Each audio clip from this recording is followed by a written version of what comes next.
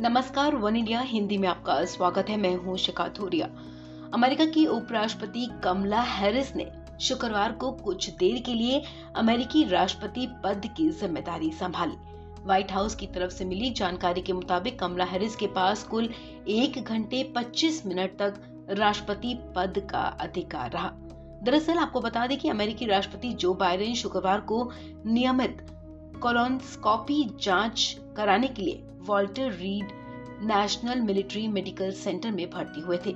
इसी दौरान उन्होंने पचासी मिनट के लिए अपनी शक्तियाँ, उपराष्ट्रपति कमला हैरिस को ट्रांसफ़र की थी। बता दें कि इलाज के दौरान जो बाइडेन को कुछ देर के लिए बेहोश भी किया गया था। अमेरिका के 250 साल के इतिहास में अब तक कोई भी महिला राष्ट्रपति नहीं बनी है। ये आम है कि जब प्रेसिडेंट को एनिस्थीसिया से गुजरना होता है तो अपनी शक्तियाँ उपराष्ट्रपति को ट्रांसफ़र कर देता है। इसी कड़ी में अपनी शक्तियों को ट्रांसफ़र करने के लिए बाइडेन ने शुक्रवार सुबह अमेरिकी समय के मुताबिक दस बजकर दस मिनट पर स्पीकर नैन्सी पेलोसी और डेमोक्रेटिक सेनेटर पैट्रिक लेहाय को पत्र भेजा था। इसके बाद वो एनिस्थीसिया के लिए गए थे।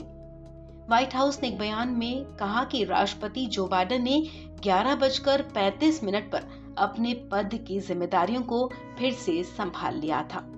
आपको बता दें कि उपराष्ट्रपति बनने के बाद कमला हैरिस कई रिकॉर्ड अपने नाम कर चुकी हैं। वो अमेरिका में उपराष्ट्रपति बनने वाली पहली महिला है।